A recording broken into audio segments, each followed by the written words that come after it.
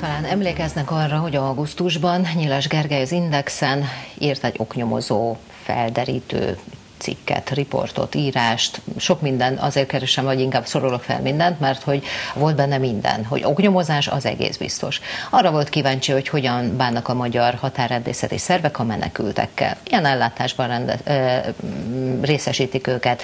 Van-e fedett födél a fejük fölött, hova viszik őket, mi történik velük, egyáltalán kapnak-e tolmácsot, értik-e, mi történik. Tehát számtalan kérdés, amit kívülről egyébként nem tudtunk, és nem másért kellett az újságírónak kiadnia magát menekültnek, mert hogy hivatalosan ezeket az információkat tényleg nem lehetett megtudni. Tehát hiába kérdeztünk mi is, vagy vártunk vendéget, hogy akkor pontosan kit, hova visznek, milyen jogcímen, ott mi történik vele, igazából a titkon túl más nem maradt nekünk.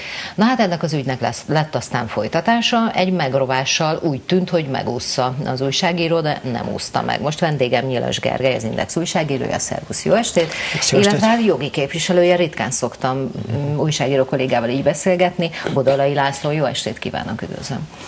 Először az, az ügyvéd urat szólítom meg azért, mert hogy, hogy én akkor ezt nem is igazán értem, hogyha az ügyet megszüntették, és egy megrovást kapott Gergely, akkor most hogy lett hirtelen vádlott?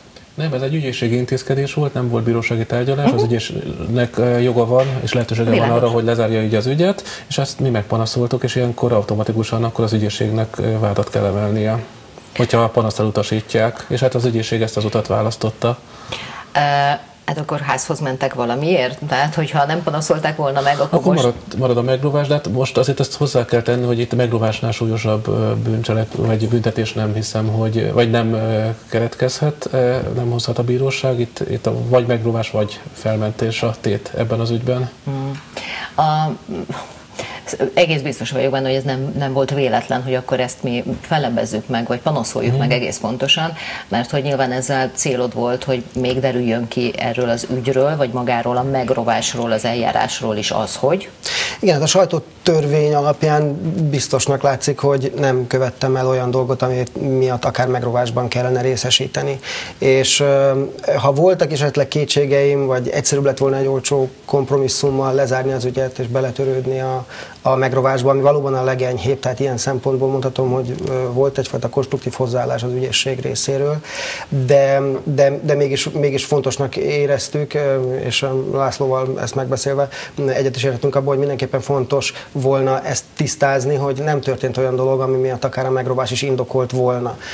Megtévesztette a hatóságokat. És okiratot is hamisítottam. Na, a, hogy tette mindezt? Hát a, az okirat, ugye ez a kettő ö, ö, vádpont van ellenem, hogy okirat hamisítása és a hatóság megtévesztése. A, az okirat hamisítás az arra épül, hogy azokat az adatokat, amiket én bemondtam, azokból készült egy, egy hivatalos okirat, mely okiratot én nem láttam és nem is írtam alá, de mivel ez az én általam adott adatok alapján született, ezért az az okirat miattam hamis.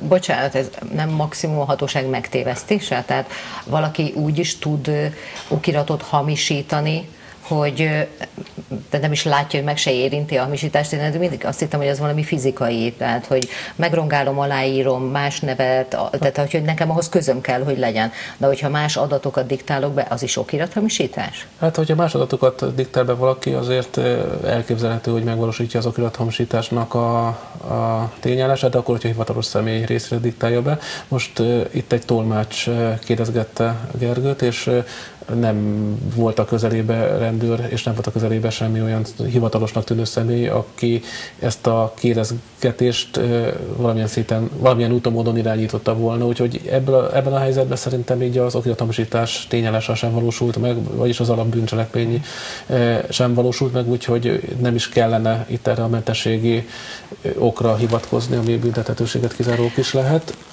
De itt több szem, több szempontból vérzik ez az ügyállás pontom szerint. Elevenítsük fel a történteket.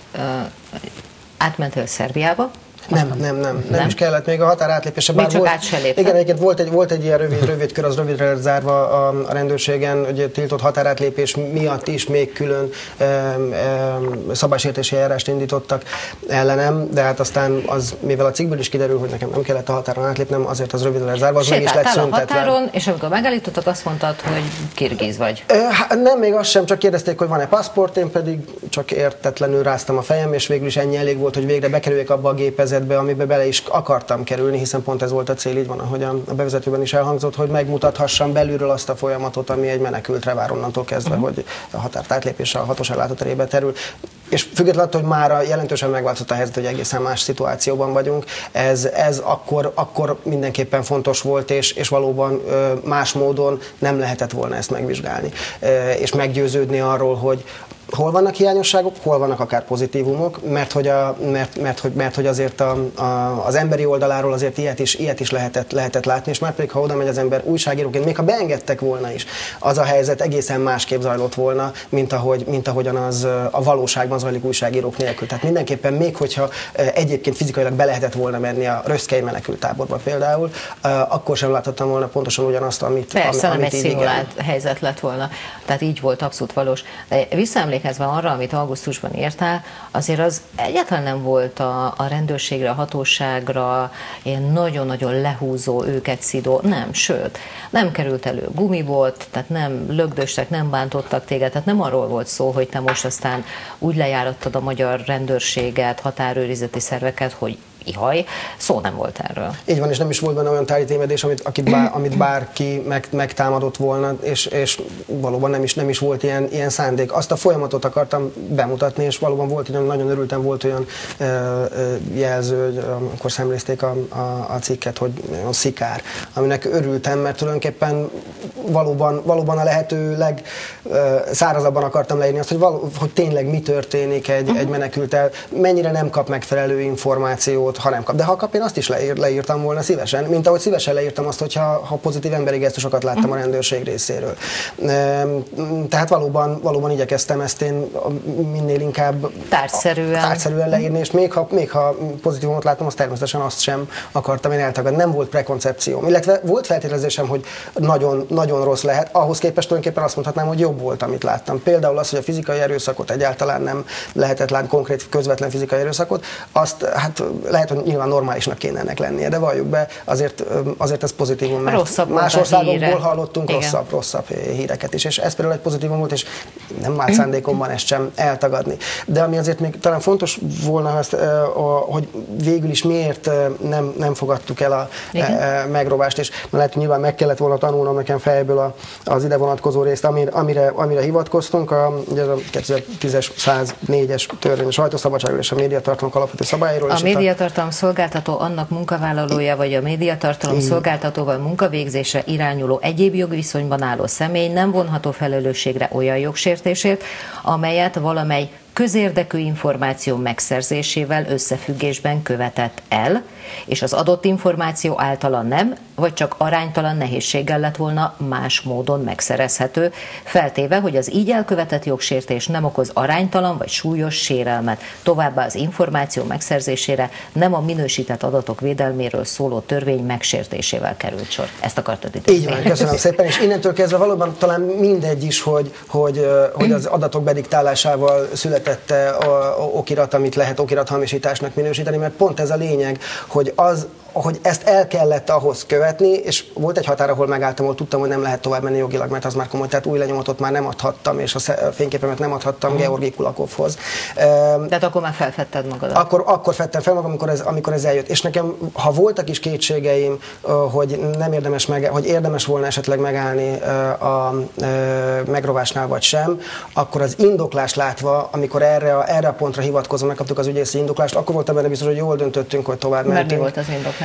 Um, Műfajilag próbálták lemezni a cikket, és azt állított, igen, azt állított Jó, mit említett, hogy ehhez nem kellett, a, de ez nem, nem közé. Nem volt szükség, igen, nem, nem, is, igen, meg, lehetett tudni, meg lehetett volna tudni ezeket. ezeket. Más, uh-huh. más eszközökkel is, uh, hivatalos úton is, uh, szubjektív volt, és talán rossz indulat lett még ez a szó, ez a jelzés elhangzott benne, tehát sok ilyen megfoghatatlan dolog, de a lényege az volt, hogy pont ezt a pontot, ami azért az oknyomozó újságírás létére van kitalálva. Tehát milyen gáz, hogyha egy oknyomozó újságíró az nem Budapesten a fűtött irodába az íróasztal mögül telefon segítségével telefon oknyomoz. hatóságot fölhívva.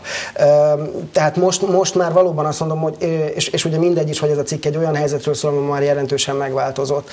Most már valóban arról, arról van szó, hogy, hogy ennek a pontnak be kell bizonyítani, hogy valóban komolyan, komolyan veszik, és a bírósági eljárás, hát e, a per erre, erre most módot ad. Azért az még fontos, hogy Hát egy kedves olvasó tette a feljelentést. Ő csak a második volt. Az idegerendészeti hatóság az, amelyik megtette a feljelentést három vagy négy nappal a cikk megjelenése előtt, és a cikk megjelenése napján egy, az egyik, egyik olvasónk, aki rendszeresen küld személyeskedő e-maileket, nekem egyébként pont sosem küldött, de, de többeknek Már is ezeket, ezeket, igen, és most így be, bebótolt ezeket az elmaradásokat, de ez tulajdonképpen csak egy ilyen haba, haba tortán, de valóban de van egy, van egy ilyen följelentő. Ő mi miatt? Tehát ő ő, ő is Ismeretlen a... tettes ellen a cikket olvasva. Igen, benne van az ügyészségi, vagy az oké, okay, ismeretlen tettes ellen az, a cikket olvasva, de mi a tárgya a feljelentésnek? Opiatomosítás volt, és azt hiszem a tiltott határ átlépést is. Lehet, hogy az nála is benne volt a hatóság megtévesztés, most nem is tudom meg, megmondani, de a lényeg az, hogy mi ezt ugye az, az iratismertetésből tudjuk, ez nem is titok, hogy, hogy van egy ilyen feljelentő. Aki aztán de ő honnan tudta azt, hogy például most akkor a, a, ott aláírt tál valamit az A4-esen, hát, vagy nem írtam alá? Hát ezt, ezt nem, nem tudom, hogy ő mennyire, mennyire gondolta végig a pontos ö, ö, tételt, ami alapján föl lehet, meg lehet tenni a feljelentést. Mindenesetre valóban furcsa vagy, vagy, vagy szomorú, de valójában a lényeget tekintve persze nem számít, mert a hatóság is megtette a, a feljelentést. De arra jó, hogy a, a feljelentő szintén meg fogja mindig kapni az a, a ügyben keletkezett iratokat, mint, mint feljelentő. A tolmácsnak sem volt furcsa, hogy, tehát, hogy nem annyira beszélni nyelv? Ó, annyira beszélni nyelv. Annyira beszélni, hogy egy tolmás is elhitte, hogy egy, egy így, kedves kirgiz fiatalember Hát nem a kirgizt, ugye én, én ott, pont kellett egy ilyen csavar, muszáj volt kompromisszumokat kötni. Gondolom oroszul, nem? Így van, tehát én orosz anyanyelvű, kirgizű, nem tudó kirgiz állampolgárnak adtam ki magam, ami lét, aki létezik. Ja, kis, és akkor oroszul, tehát nem és kellett. Így van, Aha. így van. Hát pont ezért muszáj volt kitalálni, mert azért azt gondoltam, bár azt hittem korábban jutunk tolmáshoz egy ilyen folyamatban, tehát mondom azért az érdekes volt, mennyire sokáig nem találkoznak tolmácsal, vagy nem találkoztak tolmácsal menekültek, de azért nyilván nem akartam, hogy az első alkalommal, hogy azt mondom, hogy Pakisztánból jöttem és nem tudok urdul, vagy, uh-huh. vagy csak Szíriából és nem tudok arabul, tehát nem akartam az első tolmásnál nyilvánvalóan lebukni, ezért kellett egy olyan történet kitalálni, ami a kicsit furcsa és kicsit kilóg a sorból, de legalább úgy tudok tenni, mint, mint aki valóban ennek a történetnek a, a valós szereplője. De nem, nem, nem buktam le. Utólag ugyan a, a, a tolmács valóban azt mondta már az ügy kapcsán, igen, hogy gyanús volt, de, de egyébként amikor felfedtem magam, akkor mondta, hogy ah, nem, is, nem is gondolt, és nagyon őszintén így, talán egy kicsit így tetszett, és neki mókás volt a helyzet. Azért a történethez mindenképpen hozzátartozik, hogy az az ügyész kolléga, aki kihallgatott bennünket, ez nagyon korrektül járt el, és nagyon segíteni akart, és gyakorlatilag ők azt képzelték, hogy ezzel a meglovással segítenek, mert egy büntetési tétel az a kilatomosításnak azért jóval magasabb, és ők úgy képzelték, hogy ezzel most jót tettek, el, mikor az első határozat megérkezett, és át is vettük, és hát egy kicsit csodálkoztak is, hogy ezért mi miért nem örülünk ennek, és hát miért diktáltam. Bíróság, igen, bíróság mondja ki, igen, hogy itt nem történt. Miért diktálunk be, vagy miért diktáltuk be ezt a, konkrétan a panaszban szó szerint bediktáltuk ezt a jogszabályi hivatkozást. Úgyhogy én ezt úgy nem érzékelném, attól függetlenül, hogy tényleg én is egy kicsit ilyen agályosnak érzem, sőt nagyon azt a indoklást, amivel elutasították a panaszunkat, de én nem ilyen politikai nyomásgyakorlást érzek benne, hanem inkább ilyen jogi önjáró folyamatot, hogy lehet, hogy akár mint egy megsértett, láttam olyat, hogy megsértett az ügyészség azon, hogy nem fogadta el valaki a, a, azt a gesztust, amit próbált gyakorolni, és akkor később akkor csak azért is belekapaszkodott az ügybe. Szóval itt, mert láttam már, láttunk politikai nyilatkozatokat az ügy kapcsán, ez nem volt érzékelhető, legalábbis én úgy láttam, hogy a ilyen jellegű gesztus vagy antigesztus a ügyészség részéről Értem. abszolút nem hát volt. majd a bírósági szakaszban úgy is lesznek újabb politikai felhangok, hogy akkor, amikor x évvel ezelőtt a... Köszönöm szépen, hogy itt voltatok. Itt és volt. köszönjük szépen. Köszönjük.